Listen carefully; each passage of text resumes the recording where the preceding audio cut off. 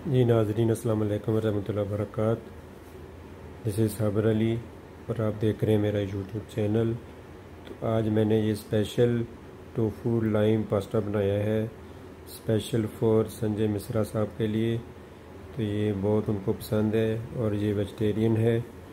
तो आप भी ट्राई करें। थैंक यू वेरी मच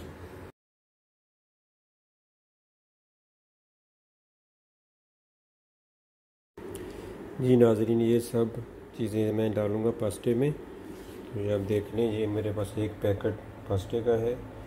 तो एक कप मैंने काटा है सिलेंट्रो लीव्स धनिया। और ये नींबू गार्निश के लिए है, हरा वाला मैंने काटा है। और डेढ़ कप क्रीम चाहिए इसके लिए, हैवी क्रीम। और ये दो tablespoon fresh lemon juice है। और एक कप जो है, ये है वेजिटेबल स्टॉक जो होता है, सब्जियों की यखनी है। क्योंकि ये मैं वेजिटेबल खाना बना रहा हूँ तो इसके लिए सब कुछ वेजिटेबल चाहिए होता। तो ये वेजिटेबल स्टॉक है, वो मैंने क्यूब से बनाया, ठीक है। और ये मेरे पास दो टेबल स्पून गार्लिक है, पिसा हुआ। और ये है जलपीनो चिली मैंने बड़ी बड़ी काटी है। तो ये है जी हरी सॉरी शिमला मिर्च तीन कलर की हैं, हरी, लाल, पीली और ये एक लाल रंग का प्याज काटा है लंबा लंबा। तो ये मेरे पास है टोफू। तो ये टोफू जो साहब हैं, ये टोफू के नाम से पास्ता बन रहा है। Tofu lime tofu lime pasta. ठीक हो गया? तो ये सब चीज़ें हैं जी। तो अभी हम शुरू करते हैं। ये टोफू के नाम से आता है टोफू लाइम पास्ता। और ये रह गया था एक बड़ा चार कप मेरे पास सोया सॉस है, ठीक है? अब मैं ये टोफू को फ्राई करूँगा थोड़े से तेल में। ये मैं फ्राई कर रहा हूँ। एक साइड से हो जाए तो दूसरी साइड से करते हैं। मैंने दूसरी साइड पे कर दिया अभी, जो कि ऑलमोस्ट हमारा रेडी होने वाला है। ये हमारा रेडी हो गया टोफू फ्राई होके तो मैंने निकाल लिया। बिल्कुल स्टफ़ फ्राई में ऐसा हो गया लाइट गोल्डन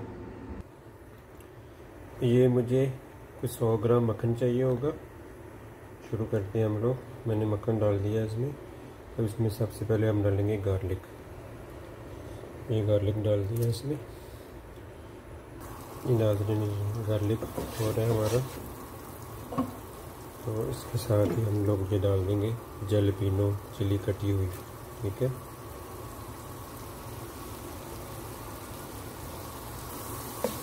इसको हम थोड़ा सा भूनेंगे ताकि इसकी थोड़ी सी गार्लिक की स्मेल भी ख़त्म हो जाए और ये चिली भी थोड़ी सी भुन जाए। फिर इसका ज़्यादा कड़वाहट नहीं रहती इसकी। साथ में हम ये पास्ता भी उबाल रहे हैं।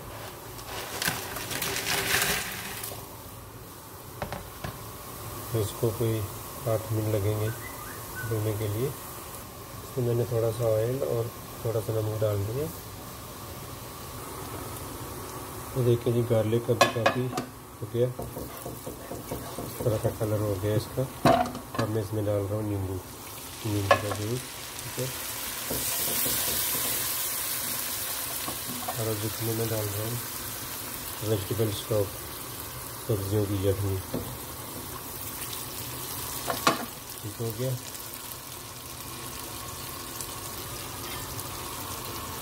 और इसके साथ मैं डाल रहा हूँ सिलेंड्रो लीव्स धनिया। ठीक हो गया जी।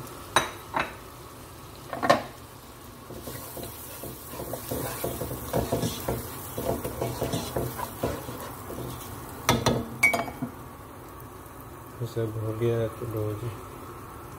इसके साथ ही हम ये डाल रहे हैं सब कुछ।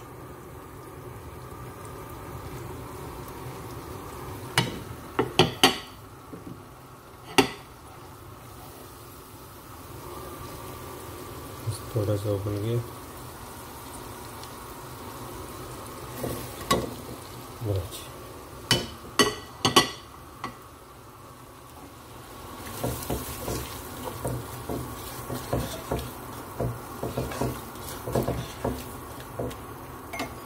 इसको अब दो मिनट पकाना है हमने। उसके बाद हम इसमें डालेंगे क्रीम थोड़ा सा मिनट पकने के बाद क्रीम डालेंगे तो फिर हमारा पास्ता बनेगा इसका। तो जी ये दो मिनट पक गया है तो अब इसमें मैं सोया सॉस भी ऐड कर रहा हूँ।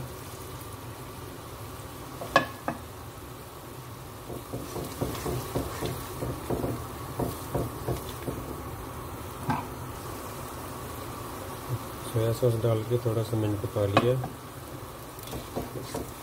थोड़ा सा ही हिलाया इसको। इसमें अब डाल रहे हैं क्रीम डेढ़ कप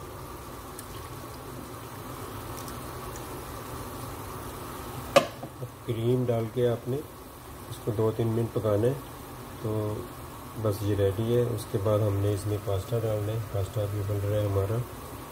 तो ये समझ लो कि आपका खाना रेडी है। Tofu lime pasta very very easy आपके सामने बनाया है।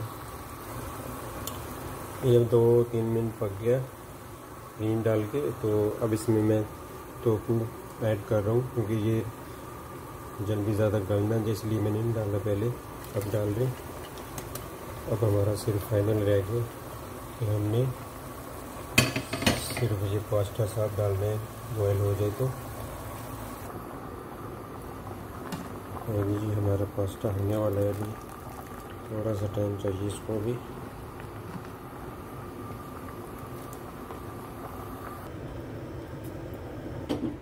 नाजरीन ये भी हमारा रेडी है और हमारा पास्ता भी हो गया।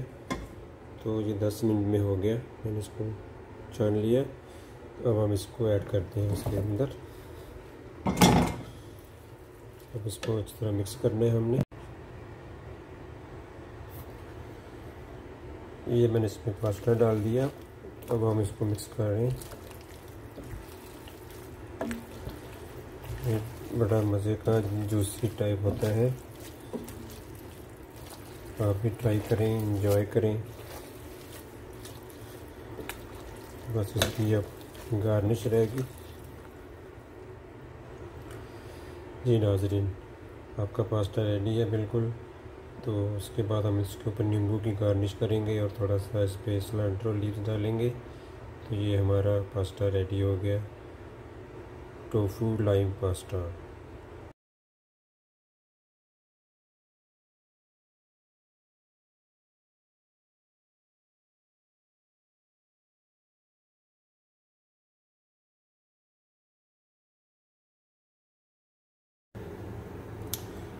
ये तो नाजरीन हमारा पास्ता हो गया रेडी गार्निश कर दिया।